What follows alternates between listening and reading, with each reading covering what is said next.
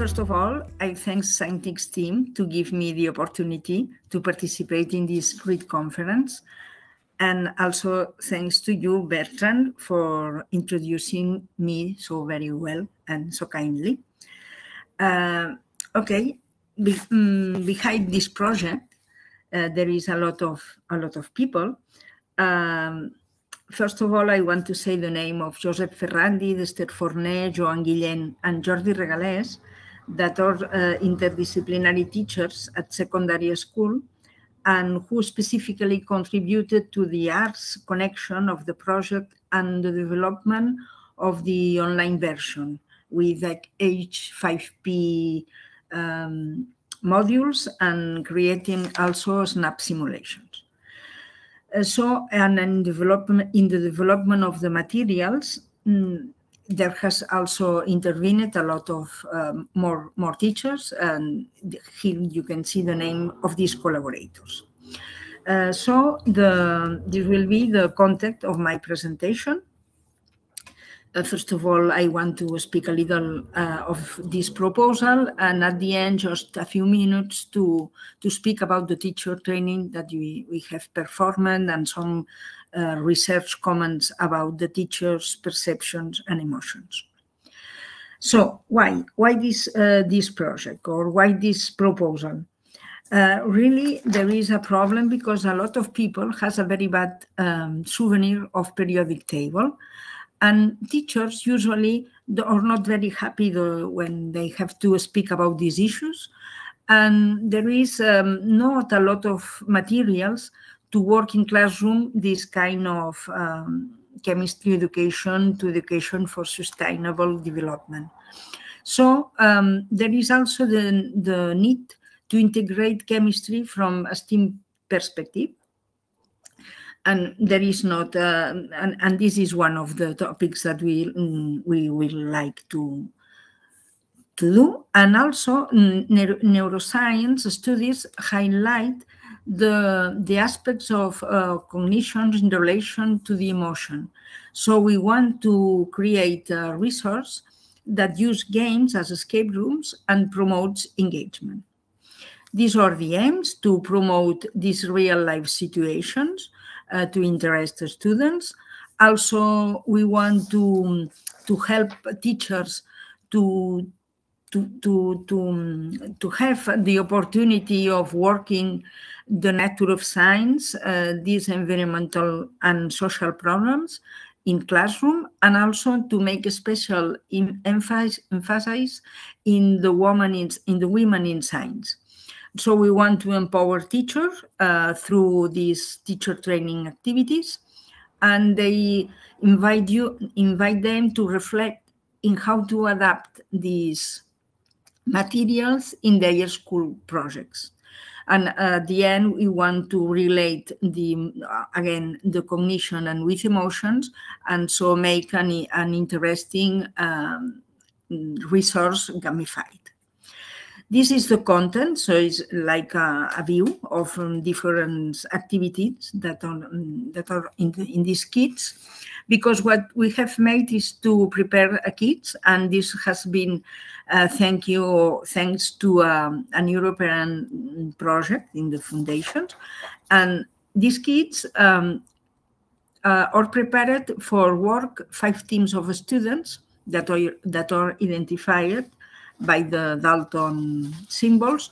And also each student has a, a badge with the, the, name of a scientist female. Uh, we have different versions. The general content and structure is uh, we have a complete version with three routes, um, four tests in each route, so in a whole 12 activities, and three challenges of sustainability. sustainability. This complete version is also in online in online format. So we have a Moodle mm, for teachers and students, and these simulations in Snap and Test. And there is also a compact version uh, with only five tests and only a one challenge of sustainability. And this is the part um, that I will tell and that I will speak later. In the complete version, the, this, the 12 um, tests are divided in three routes, and one of them is um, related to elements and everyday life. Uh, so elements are everywhere. The other one is about periodic table and the knowledge construction. And the other one is focused on the inner of in the inner part of the atoms. There are also uh, three sustainable uh, challenges, one at the end of each route. Here you can see the name of this um, of, this test, uh, and I think that with the name you can more or less uh, understand about the content, the content of each of these tests.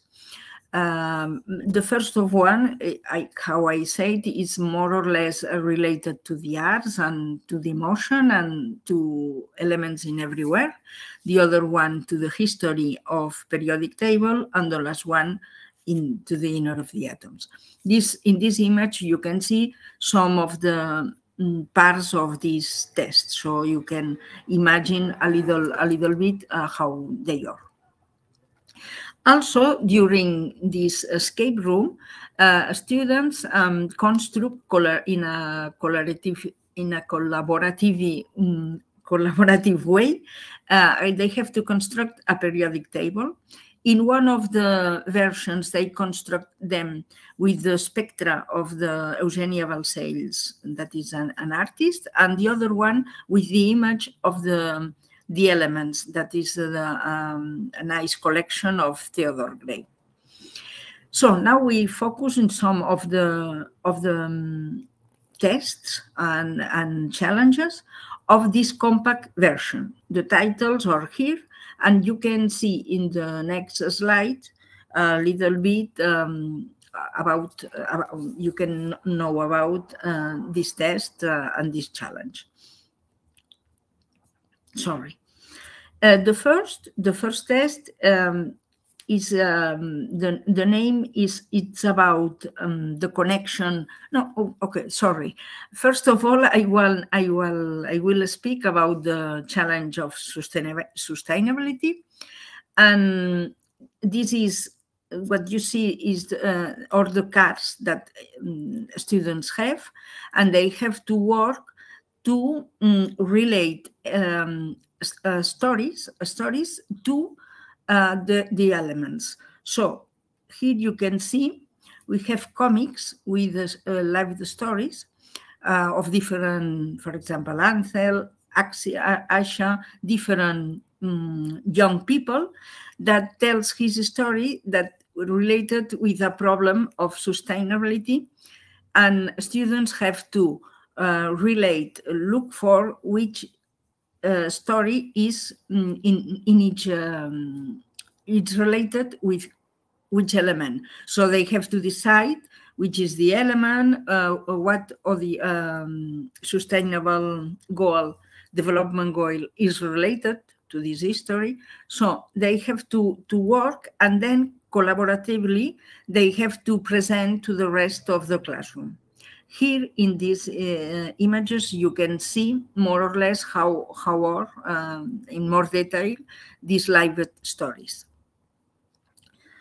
Uh, you can see that that always we we present young people and there is also a, a, solution or to this story that is related with for example um, circular economy and to reflect about um, the um, the not responsible consume and all these things.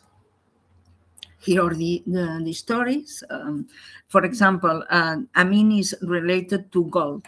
And you know, as you probably know, um, gold at this moment is very appreciated, um, for example, especially in smartphones. And there are problems, uh, social problems, and, and also environmental problems after that. In the first test, the students relate um, the, the, symbol and the name of an element to a haiku. So they uh, here you can see how do they do um, physically, and the other one is the the the Moodle. In the Moodle, we have the this version online. The second one, in uh, the name of this test is how am I? So they have to look for properties. On the, uh, there is a box with a lot of elemental substance, and they have to look for um, properties and to identify them. And also we have these simulations uh, that are in the, in the Moodle for, for schools, and they can perform the same, but virtually, not, not with the, the kids. In the third, there is also a lot of relation with arts because we use um, an Im images of the elements that are very nice and they are from the Royal Australian Chemical Institute and they have to relate this image to to these um, images of, of places where elements can be found in everyday life.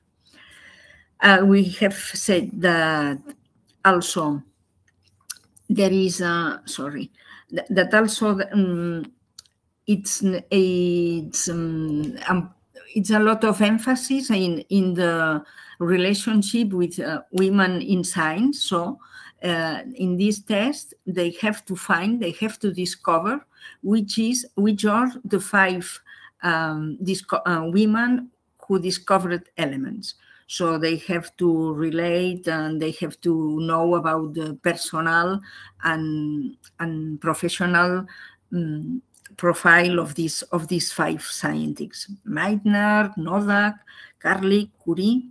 Okay, these these five uh, women, these five, and in the test five, we, there is a practical work. So they they have to to discover and to, to learn about the difference of an element and an elemental substance.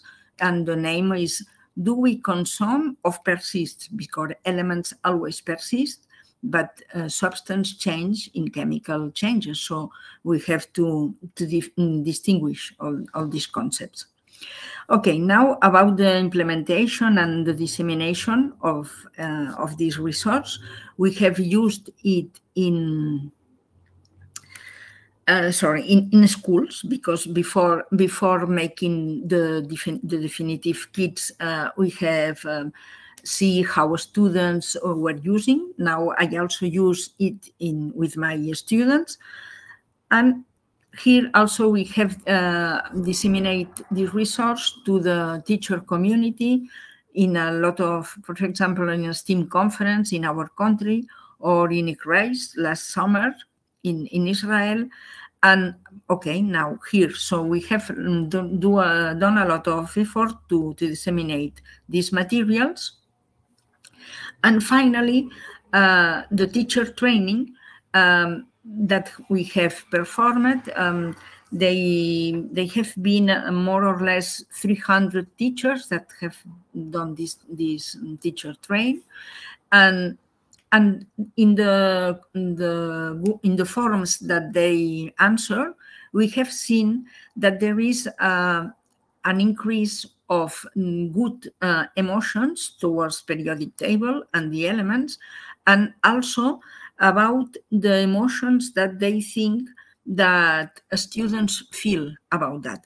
So uh, teachers feel um, more um, auto uh, efficiency, they increase the uh, perception of periodic table and they increase the, they are more capable to, to realize uh, activities um, linked to periodic table in classroom and they change emotions, the negative decreased and positive um, were also increased. So this is a first, first results of the of this um, small research that we have done.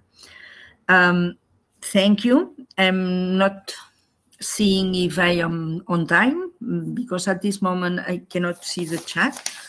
But of course, um, if some teacher that um, are interested in these materials, here is my email. Uh, it's a little bit tricky because there is a, um, my name, they call me Fina and here is not an F. So, so write correctly the email and contact me because uh, these materials are not already on, they are not uh, public in a, in a website, but, but they are in a lot of environments for teacher and we can share them for you. Thank you very much for your interest. Thank you, Fina. And absolutely, you are on time and I appreciate a lot. You are very time conscious. Okay. Thank you. Uh, and I'd like to have some questions collecting from the chat mm, partially. And a question come across about the availability of uh, the mm -hmm. digital version, but uh, you have uh, answered this question uh, partially. So if, if I um, uh, mean well, uh, the participants need to send you an email and after that you can give them an access to the digital version. Do I mean well? Yes, yes, because we would like um, to collaborate and have feedback about the implementation they do. So we are uh, we we will be very very happy to to share materials and to have feedback feedback with their students. So really, uh -huh. we can we can do it, and and they can can just mail. And of, uh, in Catalonia, there are more or less 15 or 20 kits then they are distributed among the among all the all the places in Catalonia, and so teachers can can have them for for example a month or something like that, and can use in classroom, and and then. Um, it's it's um it, it's interesting because um, it's it's very expensive all the kit, but they can use and then return to the teacher training center that offers mm -hmm. these these kits. Okay? Super. And do you plan to make it available in some platforms in the future? Yes, of course. We are working on that. But uh, you know, this project is growing. It started in the in the International Year of the periodic table, but we are working uh, on it and it's growing and it's still alive. So we want to put um, in, in on the internet in some platforms, but we always say, oh no, another version. We have to make some improvements. So it's because of that that is not um, presented uh, in, in in free platforms, but of course uh, it will be. But the, the, the best thing is to, to contact me. Okay.